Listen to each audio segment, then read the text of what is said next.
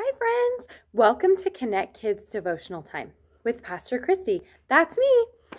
All right, friends. Today is summing up our chapter Why Should I Pray?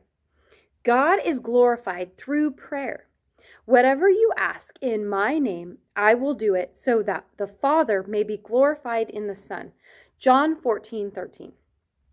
Through the process of prayer, when you take your cares to God, when you get to know Him, when you are truly joyful, and when you allow Him to guide you, God is honored and glorified. When this happens, some people will wonder what makes you shine. Some will wonder that what keeps you hopeful. Some will ask about the source of your joy, and when they do, that's your chance to tell them. 1 Peter 3:15. Not everyone knows the truth the true path to peace. Not every boy knows boy and girl knows about a God who loves them.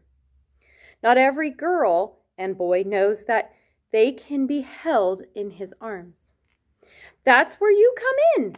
You can be the one to share the good news about God to people who you know and come in contact when you meet them.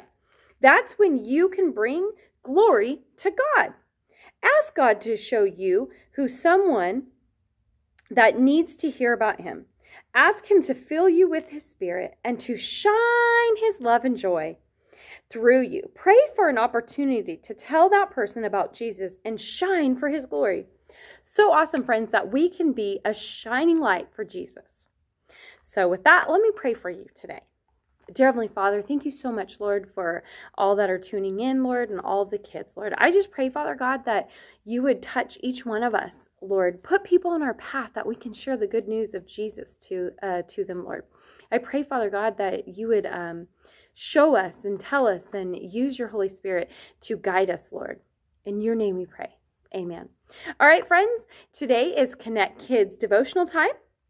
I switched them this week. Sorry, friends. Um, tomorrow's Konnect Kids Kids Club through our Zoom.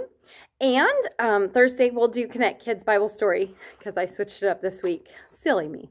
Anyhow, um, and then we have our kids' church online on Sundays at 8 a.m.